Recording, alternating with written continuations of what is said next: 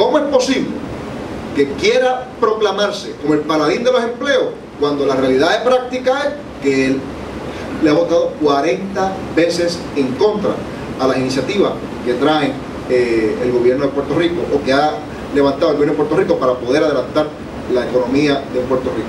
Es, una, es un acto de hipocresía y una persona que está ahí, eh, que hace eso, no puede jamás y nunca tener la confianza de los puertorriqueños.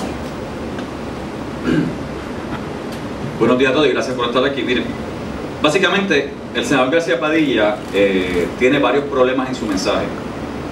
Si bien es cierto que el 25 le decía al pueblo de Puerto Rico que es el derecho del puertorriqueño a tener empleo, el pasado viernes le dice al puertorriqueño que él no quiso decir lo que dijo, que realmente la constitución no dice lo de los empleos, y a preguntar a ustedes mismos de la prensa, cuando le preguntan eso significa que entonces que una persona puede ir a reclamar ese derecho a los tribunales, digo, no, ese derecho no existe. De hecho, hace meses y meses y meses vienen haciendo fiestas diciendo que esta administración, que no se o sea, siempre ha hecho lo correcto, despidió 12 mil personas, aunque ellos aumentan el número. Sin embargo, un programa de televisión de una distinguida periodista en Puerto Rico admitió que su administración, si llegara a ser gobernador, que no lo va a hacer, no podría contratar a esas personas, así que no le puede hacer, no puede prometerle esa contratación a esos puertorriqueños. Presenta un plan, un plan de negocio o de trabajo, donde dice que va a crear 50.000 empleos haciéndole llevar o creyéndole a los puertorriqueños que el gobierno de Puerto Rico le va a dar 50.000 empleos a los puertorriqueños. Sin embargo, el viernes pasado dice claramente a ustedes, los miembros de la prensa, que desgraciadamente lo que va a hacer es crear un clima de negocio donde la persona privada o el empresario privado dé empleo al puertorriqueño. O sea que un día dice una cosa, otro, dice, otro día dice otra cosa.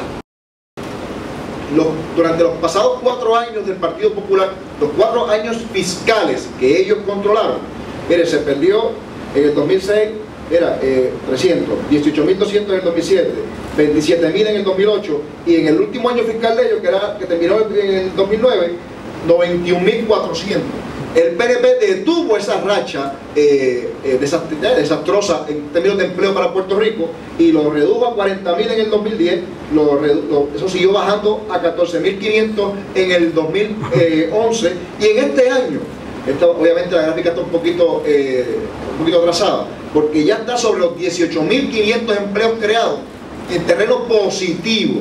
O sea que el PNP detuvo el desastre, la debacle del Partido Popular en términos de empleo. Que se olviden de estar achacándole eso a Luis Fortuño. Luis Fortuño hizo su trabajo, lo hizo bien y con rectitud pudo detener el sangrado por donde traían al gobierno de Puerto Rico y a la economía de Puerto Rico.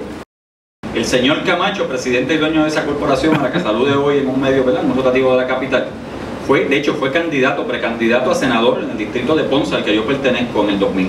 Así que es PNP. En el 2008 donó, como cientos y cientos de puertorriqueños, donó la campaña de Luis Fortuño.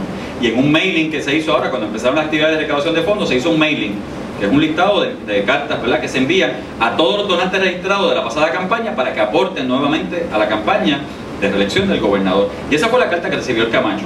Eso es una cosa que tiene que ver con su aportación al PNP en el pasado y su militancia en el PNP, que te la estoy diciendo yo y certificando.